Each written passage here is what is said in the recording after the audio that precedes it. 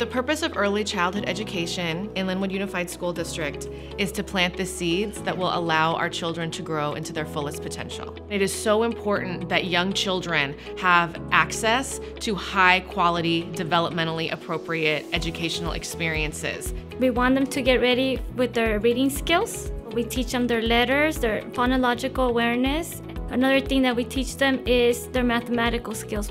When they come in on the first day of school, I feel that they grow.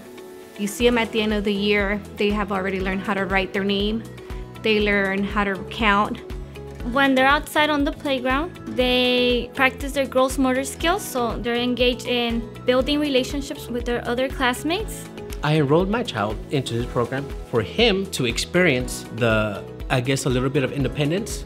They taught him his ABCs, his colors, his shapes. That's a blessing for these teachers to help us help our kids to grow and have a better life. Lynwood Unified is special because in our early childhood education program, we care about your children. We care about their experiences. We work every day to look after them, to guide them, to help shape their abilities, and to work collaboratively with you.